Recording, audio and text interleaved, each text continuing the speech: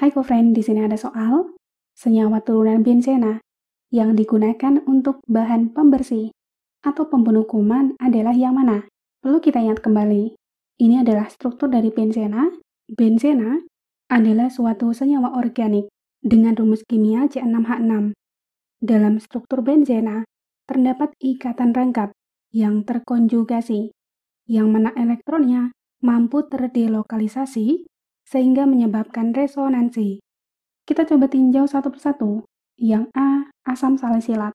Asam salisilat itu bersifat racun jika digunakan dalam jumlah yang besar, tapi dalam jumlah yang sedikit.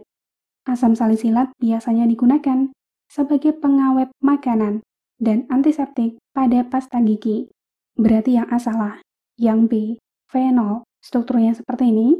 Fenol itu biasanya digunakan sebagai antiseptik berfungsi juga dalam pembuatan obat-obatan, seperti bagian dari produksi aspirin, pembasmi rumput liar, juga dapat berfungsi dalam sintesis senyawa aromatis yang terdapat dalam batu bara, yang paling umum kita jumpai sebagai desinfektan, yaitu karbol misalnya, untuk membunuh kuman pada lantai atau kamar mandi. Berarti yang B benar. Yang C, asam benzoat. Strukturnya seperti ini. Asam benzoat adalah padatan kristal yang berwarna putih dan merupakan asam karboksilat aromatik yang paling sederhana. Asam benzoat biasanya digunakan sebagai bahan pengawet makanan. Berarti jelas salah ya. Yang D toluena. Ini adalah cairan bening tidak berwarna yang digunakan sebagai pelarut.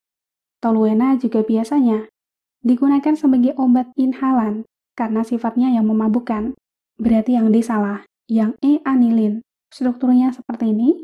Anilin ini adalah senyawa aromatis yang biasanya digunakan sebagai bahan pembuat zat warna diazo, obat-obatan, maupun bahan peledak. Sehingga dari sini kita dapat menyimpulkan senyawa turunan benzena yang digunakan untuk bahan pembersih atau pembunuh kuman adalah fenol, yaitu yang B. Oke, sampai jumpa di pertanyaan selanjutnya.